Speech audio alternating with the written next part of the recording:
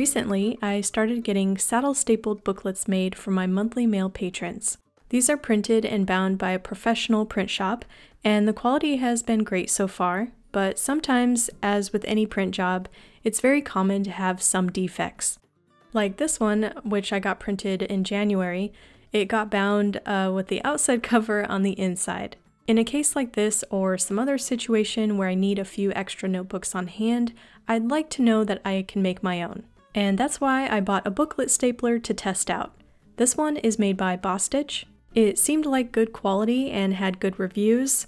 And first thing I notice is it's a pretty solid piece of metal, so it should be durable in the long run. Also, I appreciate the rubber feet on the bottom so it doesn't slide around as I work. It's mainly for letter size sheets, but if the paper is larger, it has a curled inside to accommodate some of that. Though if you mainly work with larger sheets, I think a long arm stapler would be a better option. Some reviews I read suggested using heavy duty staples, but I found the standard 6mm staples work just fine for my needs. I found the loading process very simple, it's just like an average stapler. And it's worth noting, this is made for pre-folded sheets. So you have to fold all the sheets before you staple, if you wanted to keep everything flat, a long arm stapler would be a better option. The notebooks I got from the print shop have a square back, which means two scored lines on the spine to make it flat. This method helps the cover lay more flat when the book is closed. I've seen expensive machines that do this quickly for large quantities, and I'm sure that's what the print shop used, I've also seen professionally printed notebooks that don't have a square back or any scored lines, and they work just fine too, so I want to test both styles. First folding cardstock and 8 sheets of standard weight paper in half and pressing down the folded edge. I lined the booklet with the stapler edge, pressed it down to staple, and did the same on the other end, the staple spacing doesn't have to be perfect, and I think this alignment is fine for this size of booklet.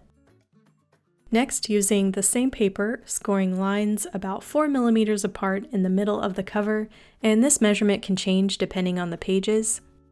Folding these together was a bit awkward, so it might help to fold the cover and pages separately for a square back. It fits on the saddle part the same way, and I stapled it the same way, I think either style can work for this type of paper, but for thicker pages, I would choose the square back. In general, a saddle stitch or saddle staple binding isn't made for a lot of pages, so I usually stick to between 8 to 12 sheets to then fold in half. I decided to test the semi-gloss prints from my paper shop, which I think could make durable booklet covers.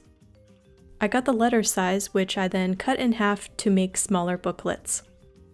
I tried a square back method on this one, but I noticed scoring on the glossy side of the paper made the print crack a bit. To get technical, this is what happens to digital prints when the varnish and ink are removed from scoring and the white paper shows through. So I tested the other way of folding in half and pressing the spine, no scoring, and to get technical again, might as well since we're here, here's some comparison. I found this cover paper worked better with no scored lines, and more paper made the spine more round and less likely to crack the glossy varnish. Cracking is also more noticeable on darker prints, so a little tip if you ever have to use digital paper to crease or score, try lighter colors or prints to make it less noticeable. I do like this paper for the glossy varnish on the outside, but because it's so rigid, I think it would work better for coil or spiral bound notebooks. I also tested a dark print in the felt paper type, which is similar to cardstock, and I didn't see any cracking on the spine. The rough texture on the paper might have something to do with it, it does have a bit more tooth, so ultimately I think results can vary with different paper and printing. To make the process easier for stapling smaller booklets, I thought it would help to put a piece of tape or a mark where to align the edges. Also, I found keeping the booklet in place and sliding it over while I staple makes the staples more aligned, rather than rotating the whole thing to the other side. And I like that the stapler makes the ends of the staples curl in on the inside of the book, which makes the binding more secure. Also found that I can't hesitate when I go to staple or else the staple gets all crumpled or it doesn't go through all the way. One quick push on the stapler works best. To finish up a booklet, I trimmed the uneven edges and put it under some weight for a while so the book will lay more flat when it's closed.